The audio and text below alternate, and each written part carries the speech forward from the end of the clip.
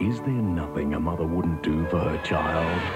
Oh, I want to go home. Her past has come back. Your wife used to be an IRA bomb maker. We want you to build us a bomb. She must choose between her daughter's life and bombing a whole city. Please come and get me. What am I gonna do? The nerve-shattering movie first. We have to move in now. You can give my daughter one lousy minute, please.